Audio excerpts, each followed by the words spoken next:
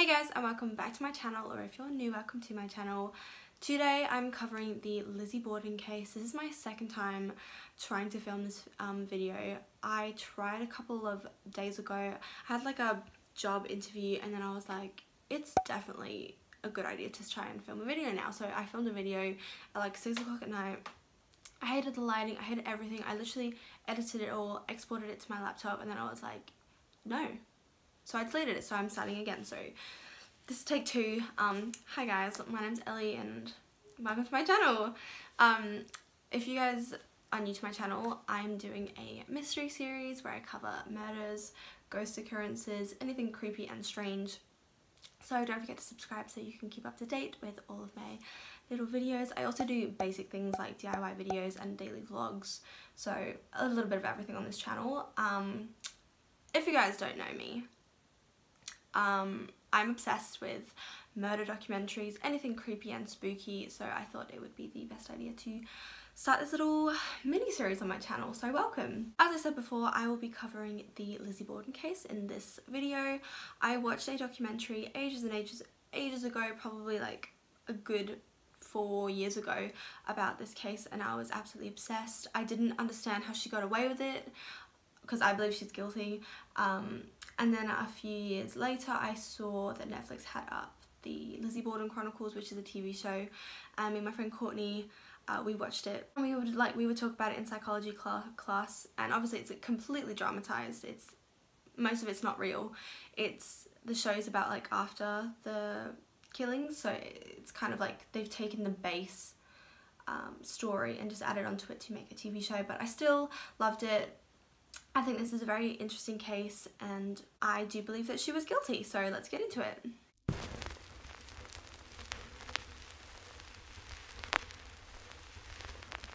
So in Fall River, Massachusetts in 1892, the bodies of Andrew and Abby Borden were found brutally murdered in their home. After an investigation was conducted, it was believed that the murderer was in fact 32-year-old Lizzie Borden, who was Andrew Borden's youngest daughter. Taking it back a few years, Elizabeth Borden was born the youngest daughter to Andrew and Sarah Borden, and she had an older sister called Emma. A few years later, the mother got sick and she died, leaving Emma to raise her little sister, and Andrew, who was a businessman, remarried a woman called Abby Gray. The two sisters didn't get on at all with Abby. They believed that she just wanted her uh, their father's money he was extremely wealthy. He was in the carpentry and real estate business, I believe. So he was pretty wealthy. Um, he was a Borden and the Bordens of that town were extremely wealthy. And both of the girls had a very difficult relationship with their stepmother because they believed she was only in it for the money. It was very well known throughout the town that the two sisters didn't get on with Abby. They would only call her Mrs. Borden. Um, they would have regular arguments despite Abby marrying their father when they were young. She was just not a motherly figure in their eyes and they didn't respect her because they only believed she was there for the money and didn't actually love their father. On the morning of August 4th in 1892, Andrew Borden got ready and he left for work, leaving Abby, Lizzie and also their maid Bridget at home alone. The older sister Emma wasn't in the house, she was out of town visiting friends, so obviously she wasn't a suspect in this case because she wasn't in the house when the murders occurred. A few hours later, Andrew Borden returned home and lay on the couch to have a rest. The maid Bridget, who was upstairs having a rest herself because she felt unwell, heard a scream at about 11.15 and ran downstairs to find Lizzie Borden screaming over her father's dead body, like repeatedly saying that someone had come in and murdered her father. Andrew Borden's face was completely unrecognizable. It was evident that he had been struck multiple times in the face by some kind of object, um, an axe-like object, and upon finding his body, a search was conducted through the house where Abby Borden's body was found dead in the guest bedroom. She had been kneeling, um, she was face down, and it was evident that she had been struck in the back of the head repeatedly with a similar object to that that Andrew had been killed by. Uh, the police came and they did a thorough search through the house to see if there were any signs of break-in, robbery, um, any sexual assault, anything of that sort, um, and they couldn't find anything, but they did go to the shed out in the garden, and that's where they found two hatchets, which they believed were the murder weapons, although nothing has actually been proven. Uh, no evidence had come through to prove that the hatchets that they found were actually the murder weapons in question. That's just what the police believed. Their main suspects were Lizzie and Bridget as they had been the only ones in the house during the time of the murders and as I said before there was no evidence of breaking and entering or robbery or sexual assault or anything like that although Andrew Borden was quite wealthy so it was believed he had many enemies so the police kind of didn't know where to start um, they looked into another suspect, John Morse, who had arrived just one day before the murders took place. He was Lizzie Borden's uncle, but he provided an alibi that he was out visiting his niece and nephew during the time of the murders, so he was ruled out.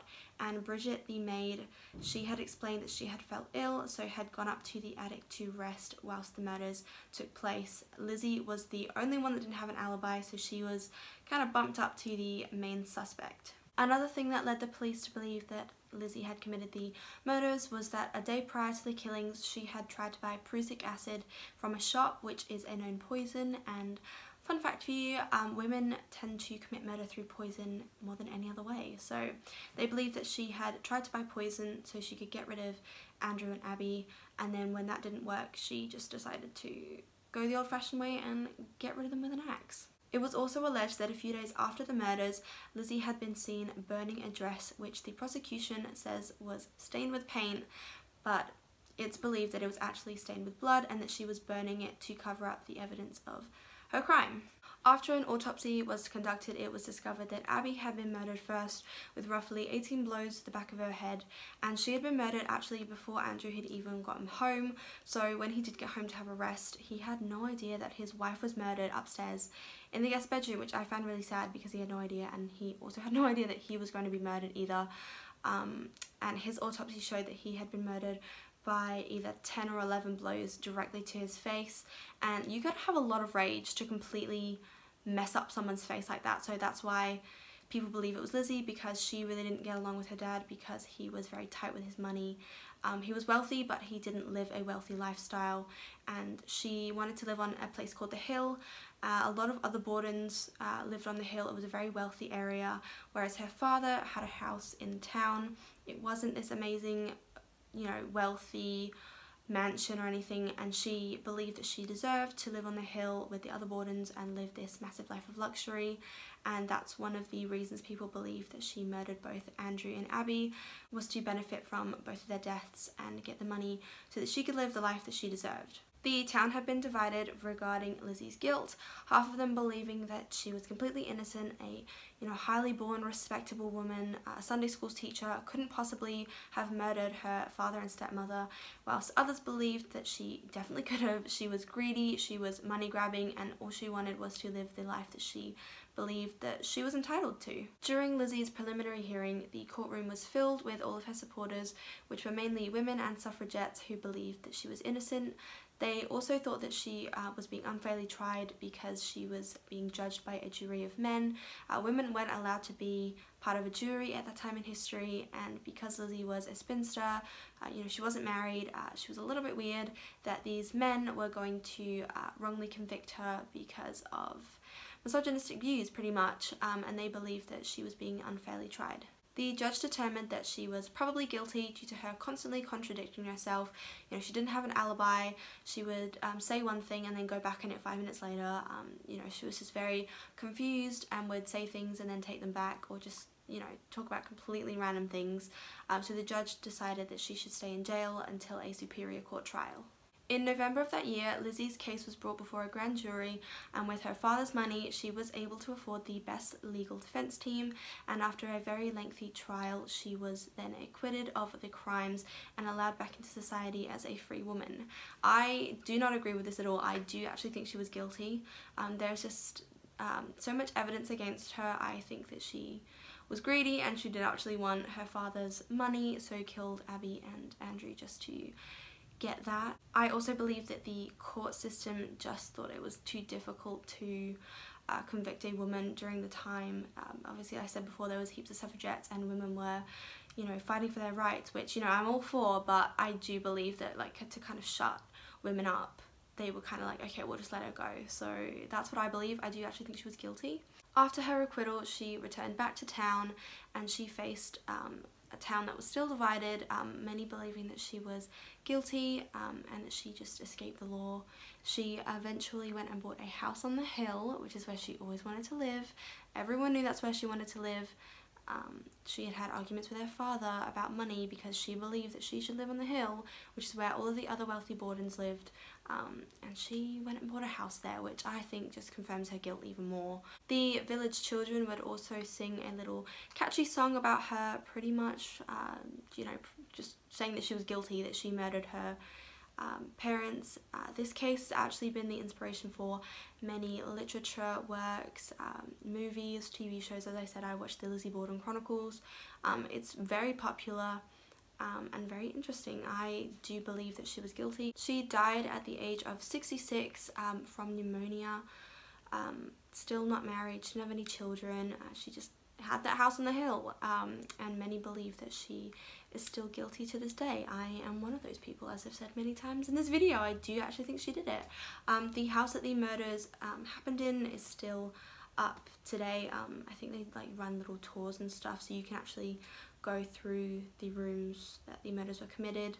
I know a lot of uh, ghost hunters have gone to the Lizzie Borden house and tried to um, contact uh, Lizzie and uh, no sorry Abby and Andrew to see uh, you know if they can connect and to see if they can find out who actually killed them.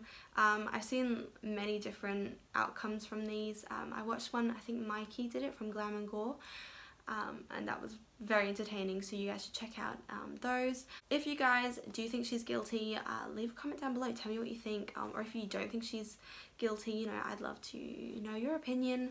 Um, as always I will leave the links um, to all my sources down below so you can check out um, all the information down below. I would definitely recommend watching the Lizzie Borden Chronicles. It doesn't stay true to the actual case, um, it is dramatised, it's a TV show, um, but it's very interesting so check that out and if you guys want me to cover any more cases or spooky occurrences or anything, uh, drop a comment down below and I will do my best to research it and make a video for you. So that is the Lizzie Borden case. I hope you guys enjoyed it. Um, don't forget to subscribe, like, all that blah blah blah, and I will see you guys next time. It keeps coming up that there's like two faces, like the camera's recognizing two faces in the frame. A little bit freaked out. Oh, okay. Two sisters didn't get on. What the f was that?